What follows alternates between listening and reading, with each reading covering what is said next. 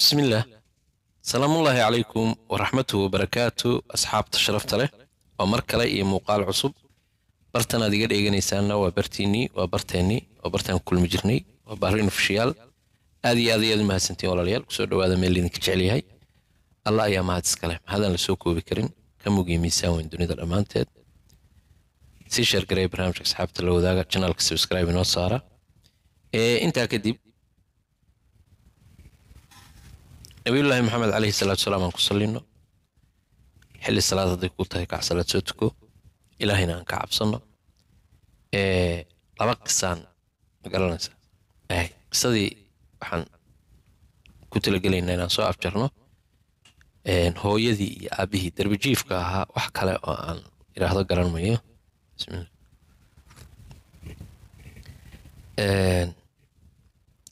Bakerigaygaas shaaha ah ahay waa iska taqaaniin? Midig wey waxaan ku cabayaa kolba la qabsataan u malaynaya. Dad baa waxay moodayaan bidix. Nabigu wuxuu yidhi calayhi salaatu salaam yaa qulaam kul biyamiinig gacanta midigta ah ku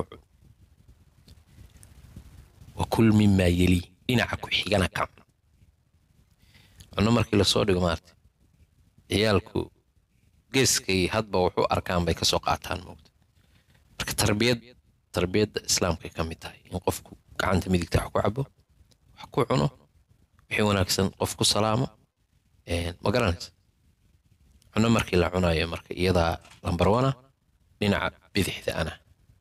Dhinaca adiga ku xigana ka cun buu yidhi nebiga caleyhi salaatu wasalaam. Waayahay qisadii ama sheekadii aan idhaahday dad badan baa yidhi kada soomaali ka dhigo. Sheekadaas waxay inoo maraysay wiilkii oo jaamacaddiisii soo dhammaystay master soo diyaariyey oo aad iyo aad isagoo lacagtiisiina ay kayd u tahay oo meeshiisii ay weli u cajiib tahay. Lacag aad u fara badanna loo hayo. Lacag aad u fara badanna loo hayo uusanna ogeyn laakiin lacagtaas iyagu waxbay ku qabteen. Lacagihii waa wiilkii weynaa oo walaalkiis ahaa baa wax ugu qabtay laakiin ma oga ninkani lacagtii in loo hayo uunbuu ogey ayuu wuxuu ku talagalay aabbihii iyo hooyadii oo yaman loogu sheegay magaalada xudayda inuu aado. Oo bartaas uu ka biyeysto marka waxaa jira doonyo waaweyn oo mukalla u baxa oo intuu mukalla dee waa reer barigii waa iska ma ugama duwana xaajiyad laba shir leeyahoo xidda iyo wacya u baxda ama alxamdulilah aday qiyaasamay meelaha iska aada kama duwan ama carma aadaysa boos ka baxaysa reer bariga halkaasay doonyahoodu iska aadaan yamanoo wax weynba maaha doonyahoodii baa taagan iyagoo ay lahaayeen marka go'aan buu gaaray inuu baxo oo meesha aado kadibna uu bal raadiyo hooyadii iyo aabihii kolba markaan waa dad waaweyn sidii kolba derbijiifkii la sheegay maaha waxaa marka aad uga warbixiyey wiilkuna uu saaxiib la noqday ninkii berigii hore ahaan jiray oo nabar kale ahaan jiray dakhare intii qisada sheekada la socotay way fahmi kartaa dakharoo reer boosaasood noqday. Magaalada degan saddexaas u degan yihiin guryo ku leh nin deegaana noqday iska degan ganacsade weyn ah iska shaqaysta baa u warramay. Aabbihiina uga warramay oo si fiican ugu faahfaahiyey oo la baray. Marka waa isaga tegi jiray si fiican buu ula sheekaysan jiray. Mar walba weydiin jiray. Marka dakharaaya ninkani aabbihii isku ciyaal bay ahaayeenoo dad isfahansan bay ahaayeen. Balwadna isla lahaa markii hore walow dakhar haddee ka baxay oo dhinaca wadaad iska noqday waa yahay waxaa dhacday marka wiilkii nimankiibuu u yimi. Walaalihiis ahaa ilaa talo iskama gaari karo. Niman baa la jiraa walaalihiisaa jooga. Nimankii walaalihiis ahaa buu u yimi. Waa nimankii aabbahood koriyey ee ma aha walaal la dhashay maa balse waa walaalihii dhib iyo dheefa la qaybsanaya kuwii buu la tashaday wuxuu ku yidhi kii weynaa buu wuxuu yidhi walaal waxaan rabaa inaan baxo.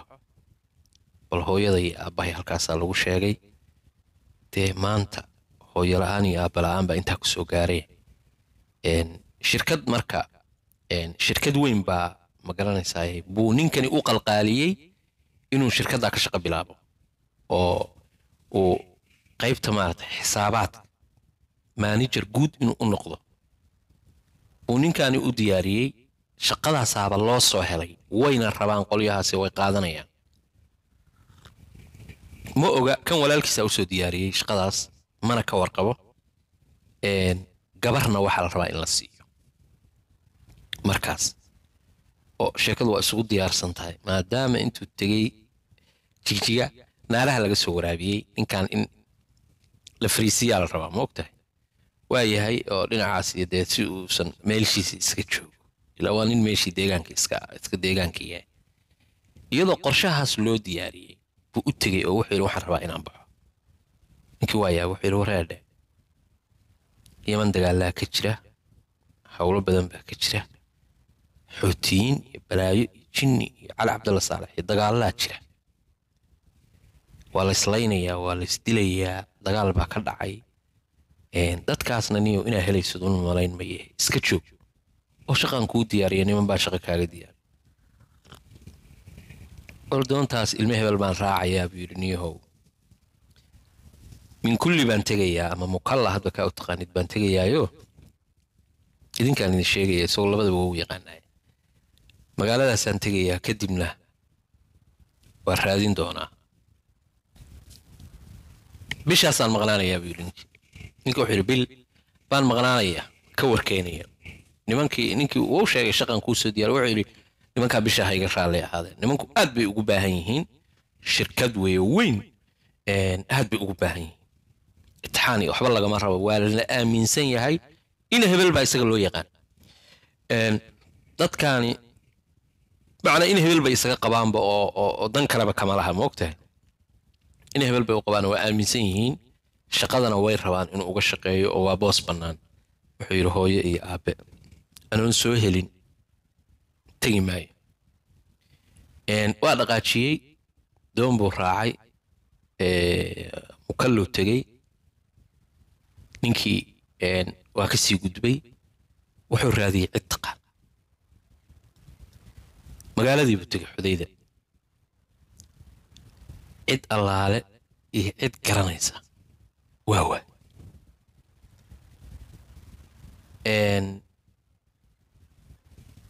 wuu soo laabtay cadan buu soo maray. Cadan buu tegey.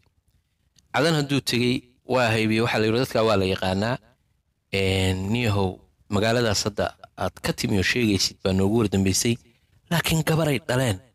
Baaba joogtaba oo ma garanaysaan nin siduu u garaacayay asaageed ka reebay oo nin baa guursaday. Waa gabar weyn. Waa walaashii hooyadii iyo aabihii baa dhalay nin baa qabay oo gawsaha ka garaaca.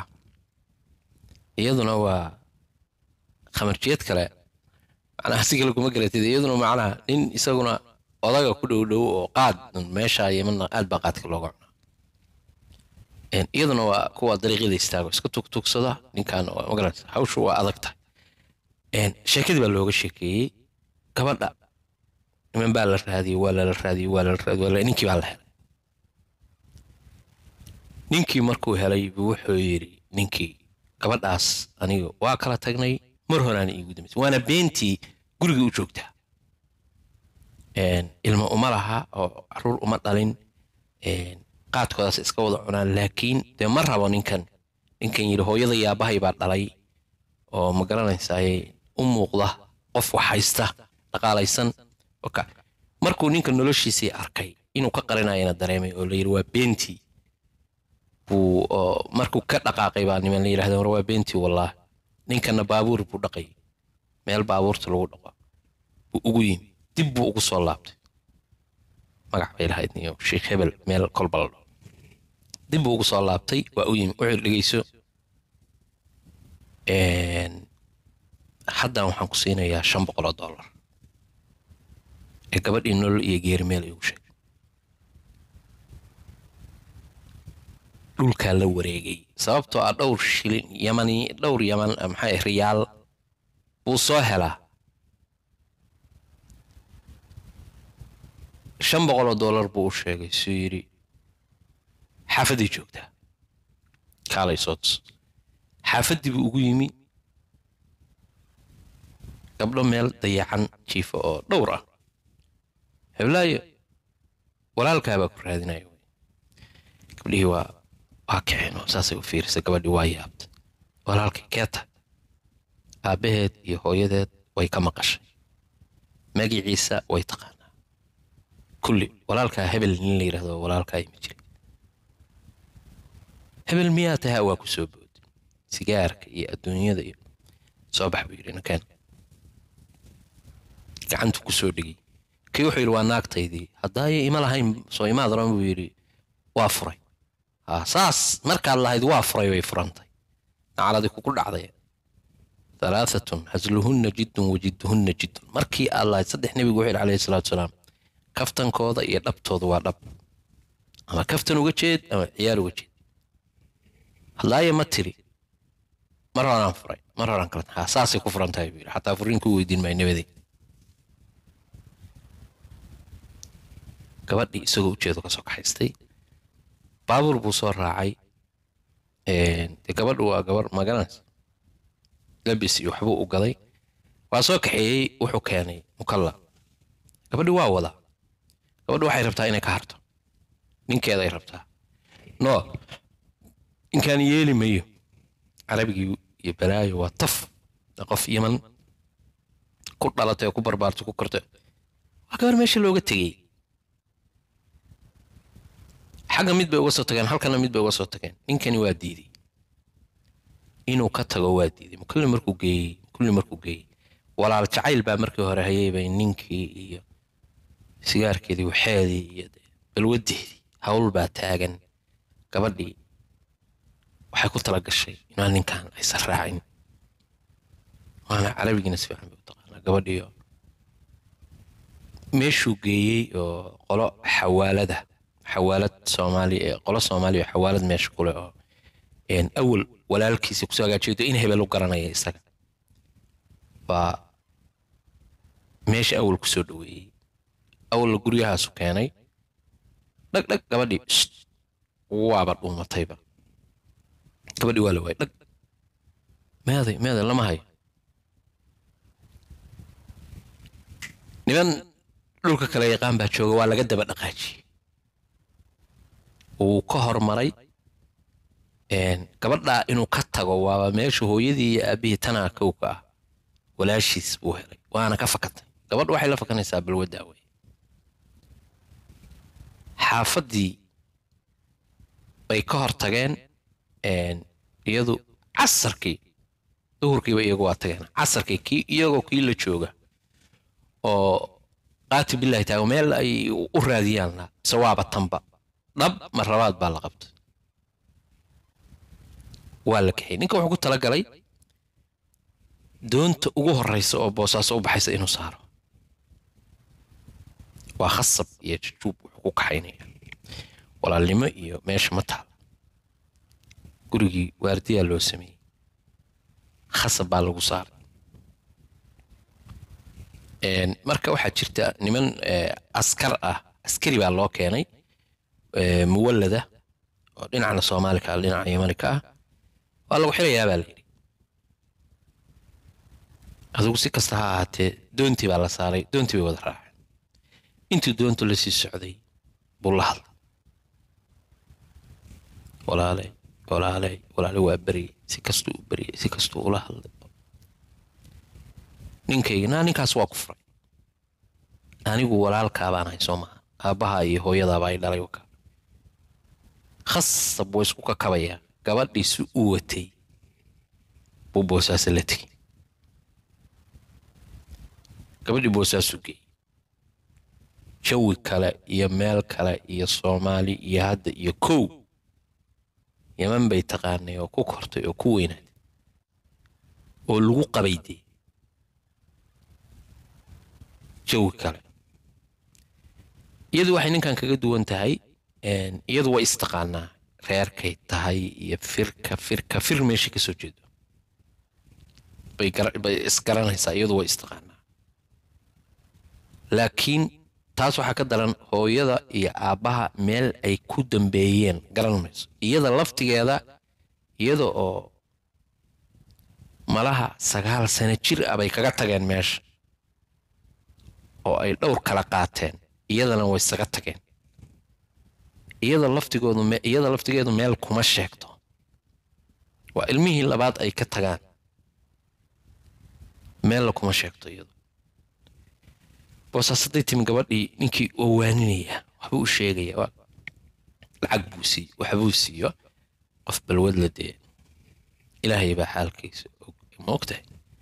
Gabadhii balwad bay leedahay qaad bay u baahan tahay boosaasta qaadkii waa yaallaa sigaar bay u baahan tahay sigaarkii waa yaallaa dadkii kuwii wuxuu yidhi hooyaday waa soo waayey dee wiilashii walaalhiis ah hooyaday waa soo waayey aabahayna waa soo waayey lama hayo sacuudiga inay galaan inay meel kale sacuudigana dee la- lama geli karo na iyo raadin halkaa uma aadi karo al ayaam way isheli doonaa laakiin gabadhaa walaashayaan soo helay oo gabadhii ninkii wuxuu wataa gabar qurux ilaahay u dhaliyey laakiin gubatay bushumu madow iyo balaayo iyo halkaa markii qofku saa u arka uu garanaya inay tahay qof balwad leh gabadhaana way dayaceen.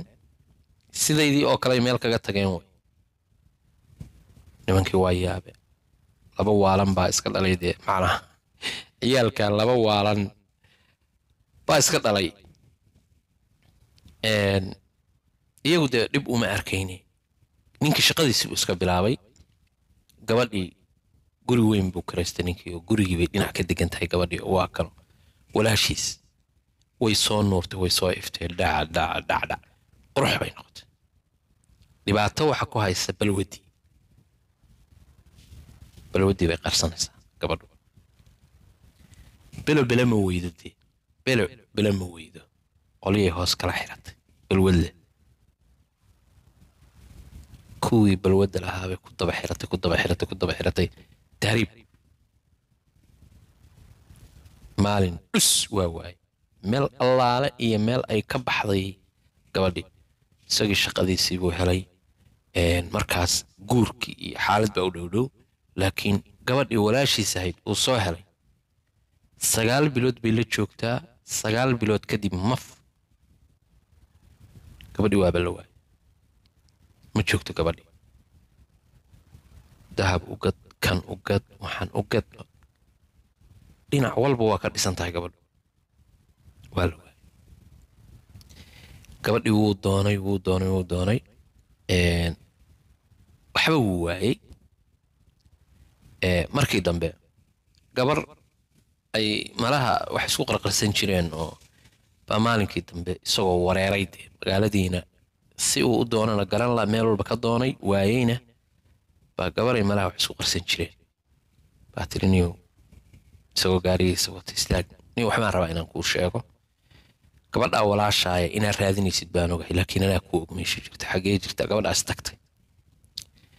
Cadan bayna joogtaa.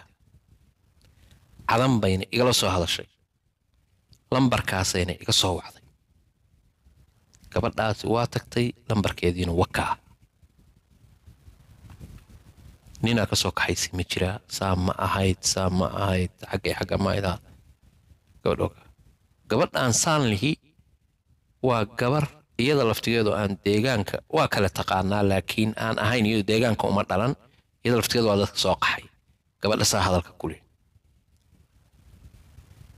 lambarkeedii buu ka qortay horuu ka wacay. Markuu wacay oo la hadlayo yidhi naa walaalay bay tiri walaalow gacaliyo ninkaygii baan aaday. Laha allameye waa mahadsan tahay walaalkay baa tahay waa ku bartay waa ku ogahay. Khalaas anigu ninkaygii baan la joogay iga tag. Ninkii calaaya kulli xaal gabadhii sidii buu kaga qancay walaashiis ahayd. Aabbihii ma hayo hooyadii ma hayo. Iska aamin hooyadii iyo aabbihii inay yihiin dad waalanoo dee midba meel cidlo uga tegaya. Wax akhbaara oo kaleetana ma hayo. Shaqadiisuu iska bilaabay gabadhii loo doonay baa la siiyey ninka. Gabar baa loo doonay moogta gabadhii baa la siiyey oo qoladii ninkii macnaha shirkadda ninkii ma garanaysaa wiilkan yarka ah koriyey oo odayga ahaa wiilkii curadka ah oo dhalay nin ina adeerkiisu gabar uga doonay. Ninkaasaa gabar siiyey. Ninkii gabadhii baa si fiican loogu dhisay baa loo aroosay maalin maalmaha ka mida baa waxaa u yeeray wiilkii walaalkiisa hayo weynaa curadkii saasaynu dhahaynaaye baa u yeeray. Marka u yeeray wuxuu inuu dhegeyso point. Hal arrin baan kuugu yeerayaa. Lacagtii ka soo bilaabatay xilligaa ilaa xilligaas tiro ahaan waxay gaartay lacagtaas dhowr iyo toban kun oo dollar bay noqotay. Dhowr iyo tobankii kun oo dollar ayaan waxaan kuu geliyey kambaniga noocaa iyo noocaasa waa shirkad caalami ah oo isaga laftigiisu uu ka yahay wiilkani uu markaa macmiisha ku jiro. Buu yidhi sheer baad ka tahay adigaa wax ku leh. Magacaaga baa ku jira inaad sheer ka tahay. Anigu lacag baa iigu jirta sheer ah laakiin taadaa badan sanad kastana markii xisaabta iyo wax yimaadaan faa'iida iyo khasaare wax yimaadaba anaa la xisaabtami jiray laakiin sanadkan anigii adigu waa wada tegaynaa. Lacagtaadu lacagtay dhashay bimacnaa toban kun oo dollar waa lagu shaqey lagu shaqey shaqey. Hadday laba kun kuu dhashay labiyo toban kun bay kuu noqotay sheerkaagii bay ku siyaadaysay laakiin anigu waxaan doonaan ka qaadanayay lacag fara badan bay kuu tahay. Sanadkan waxay kuu noqotay baynu arkaynaa waa u tegaynaa waa waray ninkii kuleetiga toogsisanaya because kambanigu waa kambani weyn kana shaqeeya puntland oo dhan ka shaqeeya oo aada caalami u ah. Waa yaaban yahay wiil. Buu wax ku leeyahay ismaba ogeynba. Ninkan arooska loo aroosin oroy halkaanaan qiiq tiri hamoodinina wax kale kursi baan cagta ku hayaa qiiq tiri qiiqiri qiiq mikrofoonada iyo saa markay dhahaan oo war halkaa maxaa maqlaysan bay soo qoraan daqiiqadaa dadku moogta. Marka ninkii isagoo shaatiga toostoosisanaya bay u gaartay. Gabar walaashiisana helay laakiin aan hayn laakiin markaas aroostay oo guri degan oo xaamilo gabaray u tahay oo laandheero laandheera dhali balaan degana xisaab cirkii markii la sameynayay waa meeshii wuxuuba ku jiraaba dadka lacagaha fiican ugu jiraan. Markaasaa la yidhi intaasay faa'iido kuu noqotay waa kan dhagdhagdhag maanta laga bilaabo yidhi waa kan ninkii lahaa. Walaalkay isagaa intaas leh qaybtayda anuu ku xisaabtamay isagoo qaybtiisa wuxuu ka samaynay isagu taala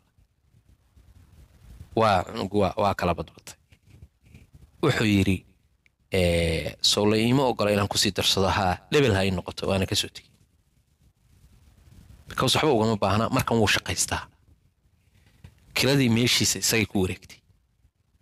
Wixii oo dhan marka meeshaas waxay ahayd meel markii hore sidaan hore u sheegnayba meel waxay tahay xero ah oo kayd ah meel bakhaara kayd ah oo loogu talagalo qaar kayd ah loo dhisay. Markii hore dayd bay ahaan jirtay keliya markii dambe dhismaa laga sameeyey waxaa ka dhisan bahalkii oo guryo waaweyn baa laga dhisay oo hoolal ah oo loo dhisay kayd. Waa afartan afartan. Caan caan dhalaya hadda haddaan dhahaa la garanayo. Lacag fiican buu ka qaataa. Taasaaba ka badan lacagtu allaale iyo wuxuu u baahan yahayna nimankaana la garda laakiin markaan isagaa isku filaaday xilligii la caawinayo baabuur si kan si muxuu u baahan yahay xaggan aaday shidaal baan rabaa lama joogo. Isagaa shaqaala ah oo shaqeeya. Oo shirkada u shaqeeya. Lacagtiisii wixiisii isagaa qaata. Wixiisii oo dhan baa lagu wareejiyey marka. Oo haystaa. Oo maalinkii uu aroostay arooska kadib baa gacanta waxaa laga saaray meeshiisi wuu iska sugay wiilkiioo markaas isagoo wiilul dhashay oo wiil u joogo maasha allah ayaa waxa la gaaray. Xisaabaadkiisii iyo waxbaa isugu soo dhacdhacay wuxuu urursaday wax kale. Meeshiiba wuxuu ka dhigay wuxuu ka dhigay meel awal alaabta roobka keliya. Meeshaas waa biyo mareen. Hoos baa aad looga dhisay si aan alaabtaa biyo u gelin. Daydkana waa la dhisay korna adigu si yaro waxa la dhigay aan saa u sii weyneyn. Meeshiibu wuxuu ku sameeyey iyadoo ma garanaysaa la degan yahay buu wuxuu sameeyey inuu dhiso oo dhismo kale ku dul sameeyo. Markaas ayuu dhismo ku sameeyey meesha shirkadaa deganaa shirkadihii deganaa buu qayb wuxuu yidhi alaabtiina meelo kale geysta inta aan qaybtan dhisayo. Laakiin idinka uun baan maaragtay idinka kiraynaya waxay dhaheen annagaa dhisayno oo lacag sanad ahaan u jaro war idinkaa laydin dhahaa yidhi anaa jiranaya adugu calaa kulli xaal meeshii buu dhisay. Almuhim. Meeshii kalena wuu dhisay hooyadii aabihii waa ka maqayn isaga nabarka hayaa wuxuu yahay xaggana ma aadi karo waa baqayaa moogta hadda ka hor la cunay ma ogta muddo kadib ayaa waxaa dhacday aabihiis yaman baa waxaa ka dhacay dagaal kii lagu hoobtay oo xaaladdii ugu darnayd baa dhacday. Waa tan xootiyiintii waddankii o dhan qabsadeen. Waxay ku jireen dad berbere laga soo dejin jiray. Dad berbere laga soo dejin jiray. Oo soomaali ahaa. Baa waxaa ku jiray aabbihii iyo hooyadii iyo afar ay wataan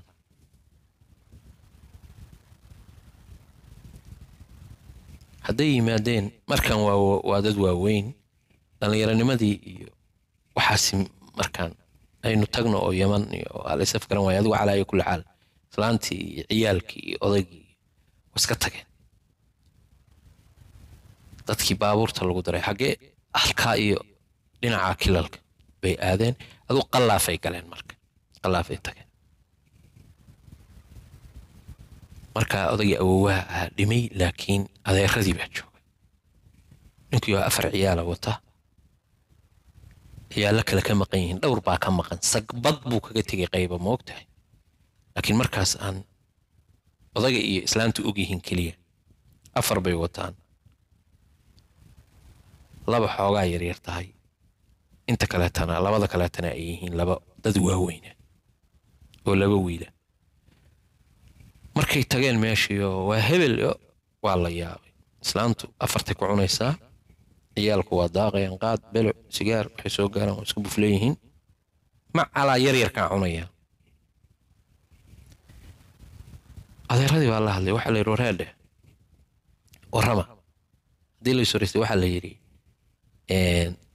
wiil aad kaga tagteen boosaaso soo ma jirin ilaa adeeradaani markaan iyagaa midba mar inta soo tago boosaase yimaado markaasuu wiilku inta iyo wiilashan kaleo walaalihiisii. Inta wuxuun u dhiibaan bay tagaan. Wayna ogyihiin nin dhaqaalale inuu yahay oo dhaqaala haysta ganacsada a markaan way ka warqabaan in uu wiil yar dhalay laakiin markaa wax dambe uu dhalay kama warqabaan. Xaas inuu leeyahay. Ninkii xaas labaad buu guursaday gabadhaani markaas waxay u haysaa saddex tan kaleetana waxay u haysaa labaad labo shan ciyaaluu leeyahay guryuu dhistay oo guryo uu leeyahay laba guri uu leeyahay oo kii odaygu siiyey aan ahayn buu magaalada ku leeyahay boosaaso waa nin laba reer leh laba guri uu leeyahay degan mid kale oo ekistara ah. Odaygii baa waxaa la yidhi wiilaa kaga tegi jirtay ma garanaysaa boosaaso iyo islaantii. Haa waxaa la yidhi ninkii waa ganacsada weyn.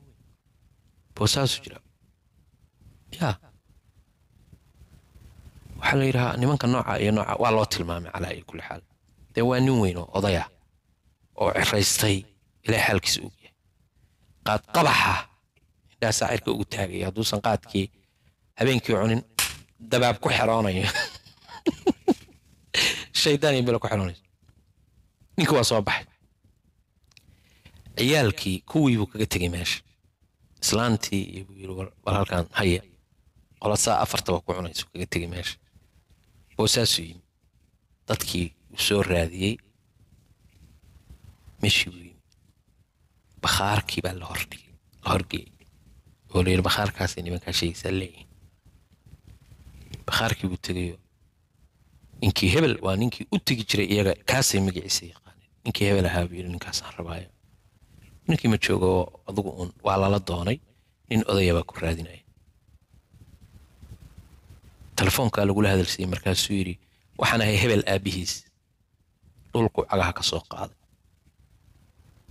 Haddaan kuu imaanaya hebelka uu sheegayaa waa joogaa moogtahay waa soo ordayoo meeshii weyn ninkii wuu arkay oday caata ah oo timacad oo dabayshu qaadayso. Baa meeshii taagan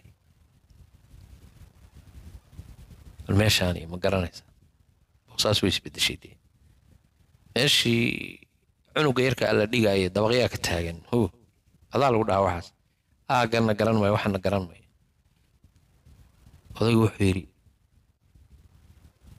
way iswaraysteen adugu uun waa isu sheegay ninkii baan ahay wuu gartay intuusan cunuga u geyn si loola hubiyo ilaa belooda dhihi kartaa annagaa dhalay ninkiina shaki badan baa kaga jira. Dakharuu doonay dakhare oo wadaad noqday gaaligiisuu wataa dakharuu raajay dakhare xagguu jira xagguu jira xagguu dakharaa waxaa la yidhi wuxuu jiraa carmo.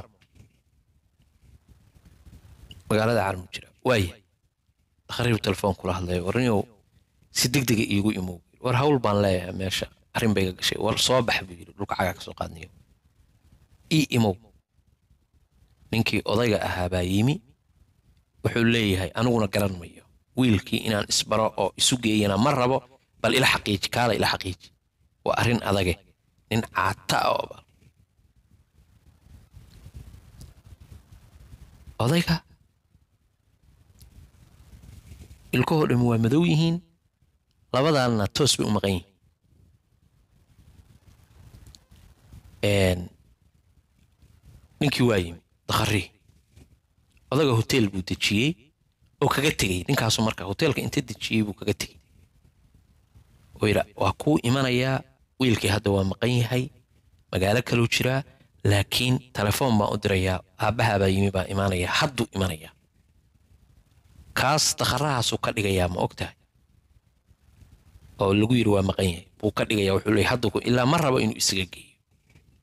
Wuxuu la hadlay dakharii baa yimi galabkiibu dakharii yimi dakharii buu xidhi wareedhe ninka bal adaa garanaye iga hubi ninka waa nimay isku ciyaalahaayeen waa nimay isla soo koreen waa nimay isla soo jabeen waa nimay isla balwadeeyeen waa nimay meel badan isla mareen dakharuhu laakiin markaan dee nin ilaahay xaalkiisa ogyahay odaya waayahay ninkii waa u keenay dakhara waa arkay war hebel salaamu calaykum garan maya isagu laakiin dakhara hore u ka gartay war hebel haya see tahay fiican tahay ii war inaa lilah warni xagee ku dambeysay anugu ku garan maayo waa qosl ima garanaysid miya taariikh buu marka uga sheekay saa iyo saa iyo halkaa iyo halkaa iyo magaalo heblaayo iyo wuxuu ka sheekaynayaa beled weyne iyo meelo ay isla soo jabeen. Halkaa iyo madaxiisa haa waree waa garanay nin adugu keetay adugu keetay odagna waa garan laaya ilaa waa nin balwade la tagtay. Dakharkaas ninkaa ku dhufatay baan ahay oo hebel hebelaniyo miyaada garanaya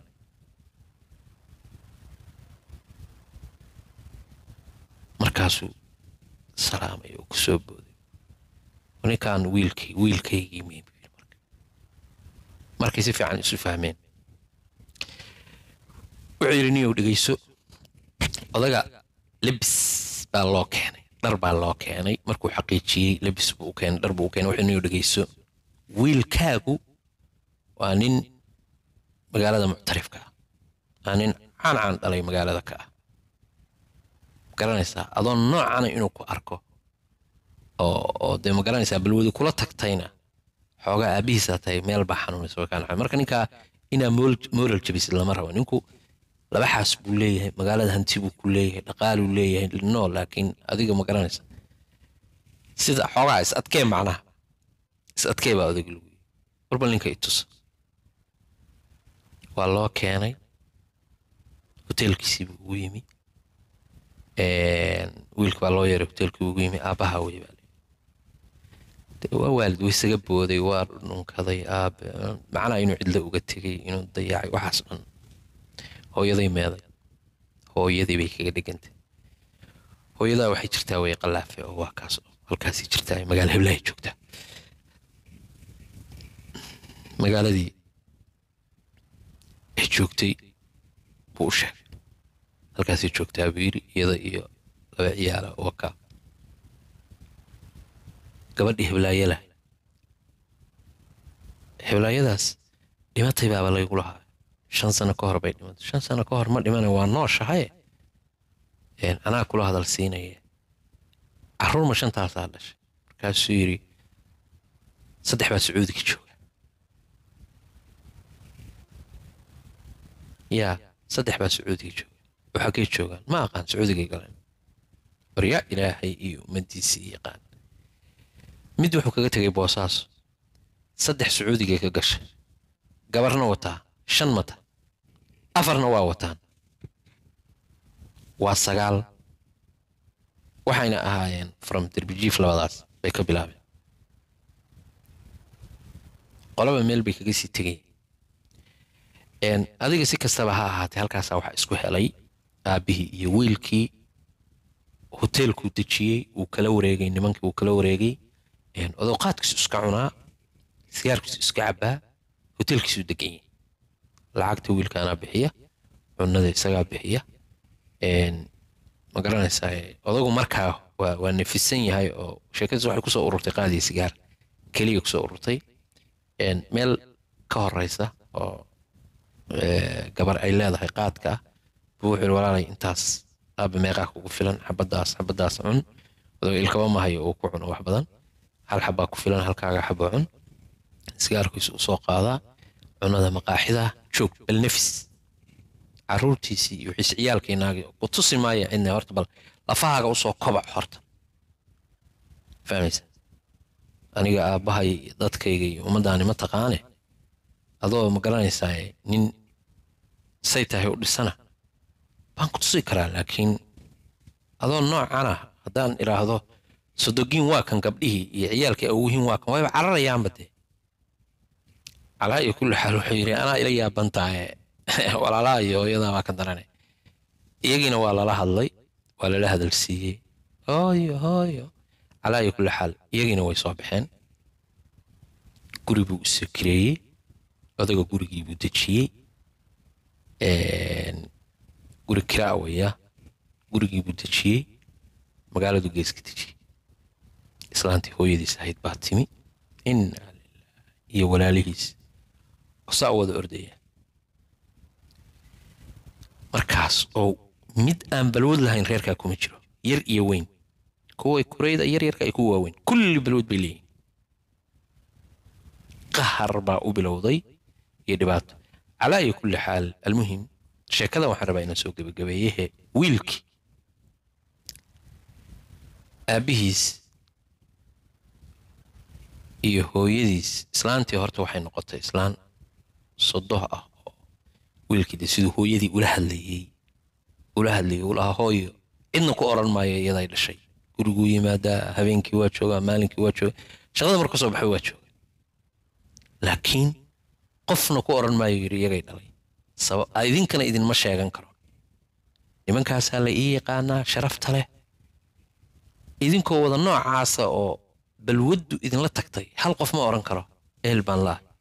Laba midyaala dhaqaalaa idin siinaya ordaya taga oo ducaa idinku darayaa ordaya iska taga haddii kale ummad caadiya noqo. Calaa iyo kulli xaal gabar iyo wiil yar yar ahaa oo iyagu runtii dee xoogaa waxaana aan ku tegin buu ka qabtay. Labadaa waa qabtay labadii kaletana kulleed buu salka u dhigay. Labadii waaweynaa kulleed buu salka u dhigay. Odagii iyo islaantii buu isku soo reebay iyo labadii yaryarka. Labadii yaryarka ahaana wuxuu yidhi haye hebel iyo hebel waa xiran yihiin xabsi bay ku jiraan. Bishii hal mar baa arki doontaan dariiqaasaa maraysaan haddaydinaan caadi noqon. Labadii waa yaryaraan ilaahay wuxuu waa ka gooyey. Odaygii bay sheekadu ku hartay islaantiina khiyaarad bay noqotay. Wixii waa iska diisay waxbaan leeyahay hanti baan leeyahay. Waxaa ku soo yiri nimankii adeerada ahbaa waxaa ku soo shubay reerkan laakiin isagoo anaa hantile iyo waxbaan leeyahay midna oran. Waxna uma sheegin maalinkii maamadu ay caadi noqotay oo ay fresh noqotay oo balwaddii iyo wixii laba sano markay magaalada deganaayeen oo caadi ay noqotay. Wiilashiina ay xeraysan yihiin ciyaalkiina ay noqdeen carruur waxbarashada aado oo waxbarashadii ku taxmo oo balwaddii iyo wixii iyo balwad kalean dee ma cuni jireen qaad hadday helaan oo dadkaasi cunayaana gees bay kala geli jireen. Sigaar hadday heleenna waa cabi jireen haddii tubaako halkaa la gashanaya waa gashan jireen waa ciyaalka yararka ah wixii bannaan bay ka mareen waxbarashadooda. Gabadhii waxay noqotay bahal gabarahoo ilaahay wanaajiyey labadii sano bay ku tooseen labadii ciyaalaha. Islaantiina ay ku toostay odaygii laakiin wixiisii waa wataa sigaarkiisii waa cabbaa qaadkiisina waa cabaa gurigaasuu iska degan yahay biil ma bixiyo waxa ma bixiyo bartoodaasay ku cunaan islaantiina wixii waa joojisay maalinkay toostay laba sano iyo bar kadib oo ay caadi noqotay buu soo kaxeeyey islaamihiisii oo yidhi aniga hooyaday waa tan aabbahayna waa kan magaaladayna degan yihiin labadaas sanayna joogaan taariikhdayda asalka ah oo dhabtahayna wataa. Reer hebel baanahay reer hebel baanahay derbi jiif baan ahaa halkaasaa aabbahay hooyaday u dhaleen islaantiisa yar buu ka dhaadhiciyey tiisii kaleto weyneyd buu ka soo dhaadhiciyey. Islaamihii oo dhaguhu intaa laala egyihiin buu hooyadii iyo aabihii u keenay. Ininku hooyadii u ekaa inaa lilaahi waatan hooyaday ku soo dhowaada. Islaantii oo laakiin aan wax balwadahay leedahay jirin. Markaas iyo meesha waxaa ka bilaabatay nolol cusub. Labadii wiil mid baa wuxuu noqday nin meeshii bay wax ku barteen. Labadii wiil meeshii wax ku barteen. Mid baa wuxuu noqday marka nin xoogaa toosan. Macallimiinta ugu warbixiyey waxaa la yidhi ninkaasi boqolkiiba boqol waxay u badan tahay inuu hagaagay. Kiiba u tegey waa la sheekaystay soo bax buu yidhi. Waxbarashuu horey ka geeyey kaasina waa u hagaagay calaa iyo kulli xaal kii kalena wuu iska soo daayey oo meeshii waa ka soo daayey laakiin sannaduu qaatay wuu soo daayey reerkii odaygii iyo wiilkaas unbaa bilood ka leh waa joogaan saddex wiil iyo gabar iyo islaantii iyo odaygii tii kale yaman saddex sacuudiga lama hayo ilaa hadda saddexdaas lama hayo cirya dhul meelay jiraan. Sheekaduna intaasay ku soo ibabeeshay maamadiioo caadi noqotay caruurtiioo saddex ay caadi noqotay oo dad waxbarta oo shaqeeya weliba oo ninkii uu ninkii ma garanaysaa meeshii lagu xirayo balwadda lahaa baabuur la baray oo baabuur leeyahay weliba. Isagiiba hadda wuxuu leeyahay baabuurtan boosaaso baabuur yiriisa magaca buu leeyahay maaqaan buu saddex haba camalka leeyahay baabuurta booska hoomeyda iyo ku jira oo yar oo kor la saaro.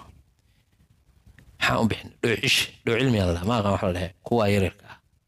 Dhikilana maaha sida bahashan tugtugleydoo kale ama bajaajtoo kalena maaha laakiin waa mid kor ka furan oo teendha la saaro yaryarka ah. Buu saddex haba leeyahay. Hal mid baa loo gaday labada kale isagaa gatay. In shaqaysto kaalay araga odaygii iyo hal wiil unbaa balood kale. Ninkiina waa ninkaas ganacsadaha ah. Hawlihiisa iska wata. Maasha allah tabaaraka walaalihiisna dee garabay u yihiin meesha joogaan afar walaalihiisaa maqan inta la joogta maahaane afar baa maqan. Hooyadii aabihii dhaleen meel loosu sheegin. Walow uu gabadhii hooyadii la hadal aabihii la hadal ay wada hadlaan. Oo gabadhii yeman joogtay ay la hadlaan. Saddex baa caadi u maqan. Intaasay ku soo ibabeeshay waxaan idinkaga tegayaa asalaamullaahi calaykum waraxmatu wabarakaatu nooli kulanta